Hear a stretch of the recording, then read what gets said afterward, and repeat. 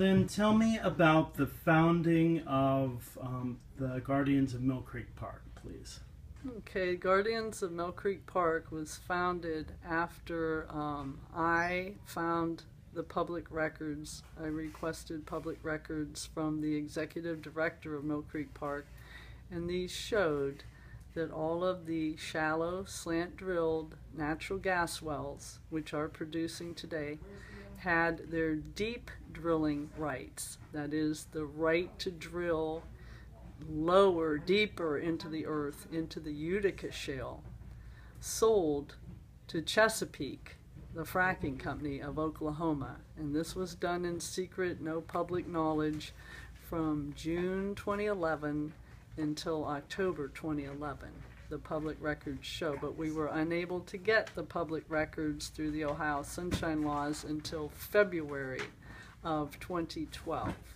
So immediately people were concerned about Mill Creek Park because we didn't know could each one of these um, wells be fracked, which they can't individually. They're all in residential backyards or city land that abuts the um, park that isn't large enough for a frack pad. However, the place that is large enough is the abandoned Idora Park land, and that's right on the park. It's right catty corner to the um, Lanterman's Mill, working grist mill, which is Mill Creek Park.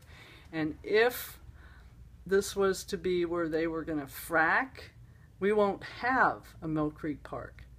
It would be 24 7 industrial activity with this, you know, ground level ozone coming out of the wellhead day in, day out the fracking earthquakes, the chemicals, the evaporation pit or storage tanks of horrible, you know, flowback and fracking chemicals. It would be an industrialized area. Plus, the Idora neighborhood, the Idora and Historic Park neighborhood has had a resurgence, and YNDC has reclaimed many, uh, you know, questionable property, and they've sold homes to uh, young new families and homeowners, first time homeowners. This would be just egregious, not to mention um, the Iron Roots Farm is right up the street from the Idora 1, Idora 2, and Idora 3 wells, whose deep drilling rights are all owned by Chesapeake, and our most recent public records show that they are flipping these leases to Total E&P of France. So this is unacceptable. And all the all the chemicals in that ground level ozone are carcinogenic, correct? Oh, absolutely. Yeah, this all involves the mix of uh, you know toluene and benzene and xylene and the strange chemicals that they use to frack shale and explode this shale. And uh, what comes back up the wellhead is radioactive because shale is a form of uranium.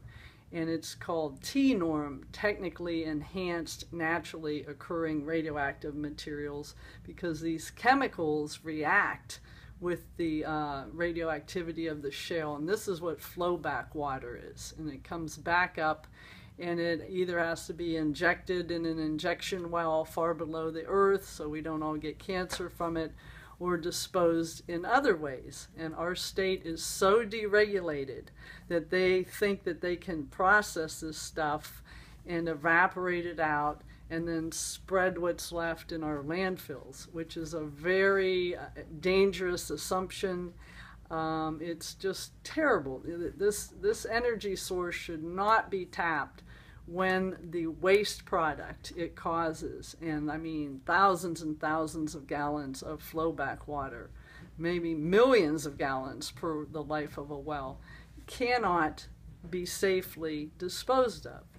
It's as bad as the nuclear industry. So we need sustainable sources of energy you know, develop the wind, the solar, the sustainable biofuels, not this dangerous fossil fuel stuff that should be left down there.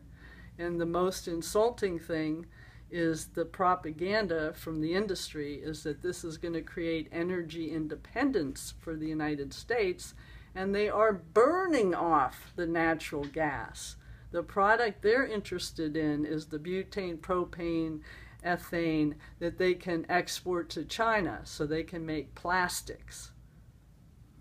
Okay. Thank you. Okay.